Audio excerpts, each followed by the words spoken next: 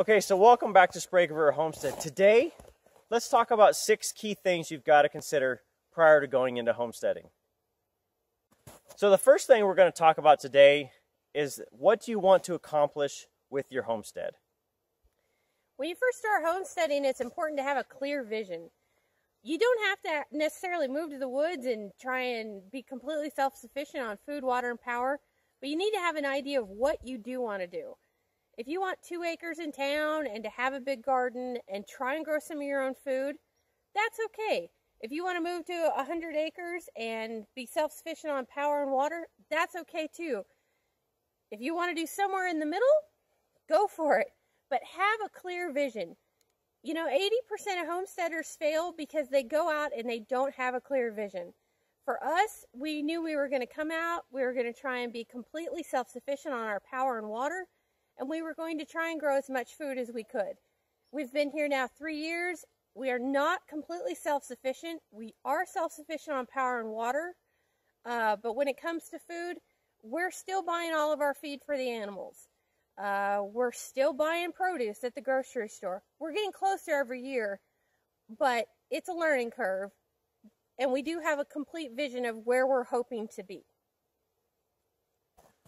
Okay, so the second thing to really consider is a tough one. It's all about the finances. So when you're planning your dream of what your homestead is going to look like, don't forget to figure out how much all this is going to cost.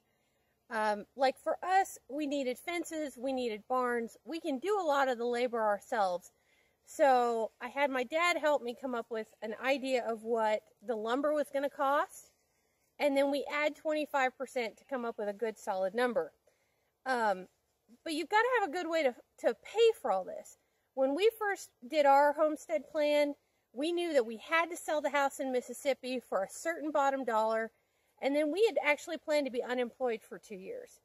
So, how the homestead is now versus how it was supposed to be, we've upgraded a lot of things because not only did we sell the house for the bottom dollar number, but the husband actually got a virtual job, and so he still got an income right out of the hole that we never planned to have. So we've made upgrades. Um, it's easier to upgrade than it is to go backwards. So plan for your worst case scenario, maybe a little chicken coop, and if you've got the extra funds, you can make it a little bit bigger.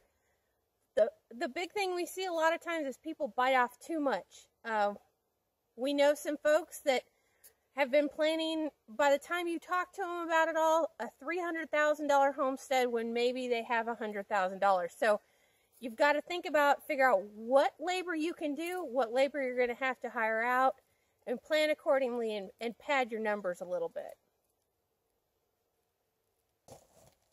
Okay, so the third thing you need to consider is are you physically capable of homesteading?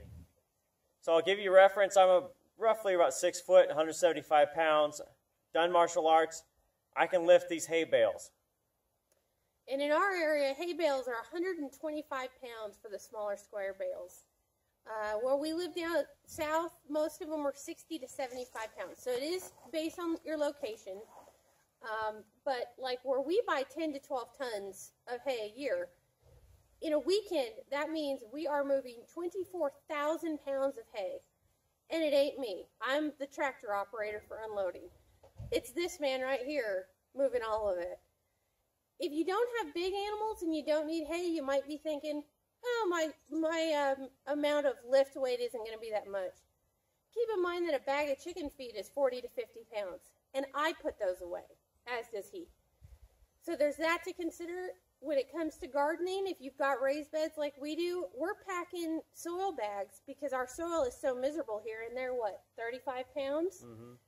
So be realistic with what what you need to do. Um, not saying that there's not great ways to accommodate out there, but you do need to have a really honest assessment of what you are capable of doing.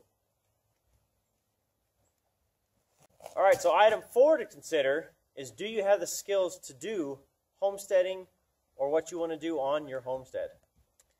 So if your homestead plan involves building your own cabin and you've never so much as built a birdhouse, maybe you're biting off a little more than you can chew.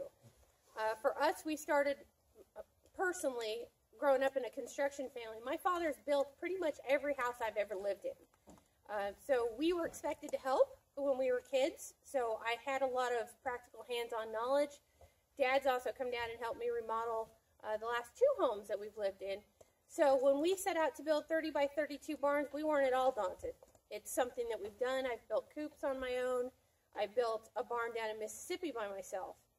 Um, but be realistic. What are you capable of? And if you can't do it and don't have the skill, do you know somebody who's willing to come over and teach you? Um, furthermore, if, if your plan is to, you know, do a garden and you've never grown a tomato, trust me, there's a learning curve. It's not as simple as to buy those pretty little plants at the store and put them in the ground. So, what skills do you have, and what skills are you going to need to have? There are classes, uh, there are books, there's a lot of stuff online that you can look up and, and learn about.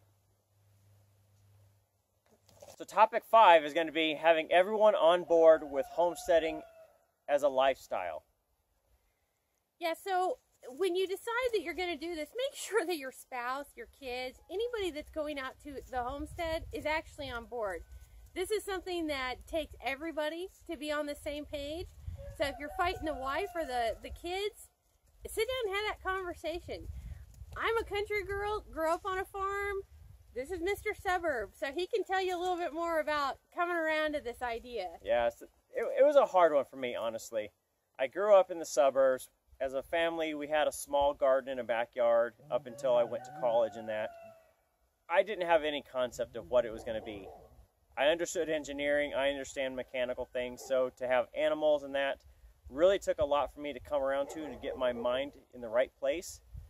But as a lifestyle, it's a challenge, and that's where I love every day is to come out and to figure out the challenge of living out here. Yeah, so just have those conversations, whether it's with the kids or the spouse, and uh, make sure everybody's on the same page. All right, so topic six is all about your attitude.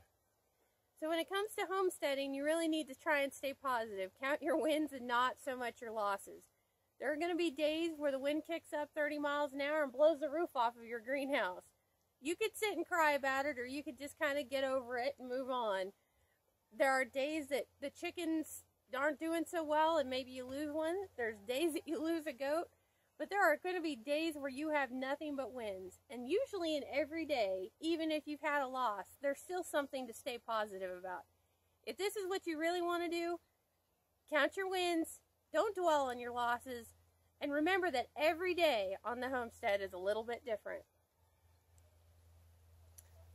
Okay, so those are the six topics we think everybody should consider prior to homesteading. Now, if you're already homesteading, We'd like to know what you think of those six. Are they on point? Or do you have something else you would rather see on that list or to add to it? And don't forget, we're also on Instagram. We also have a Facebook page. So you can always subscribe there, to see what we're doing in between all of our uploads. And then we'll see you next time on Sprague River Homestead.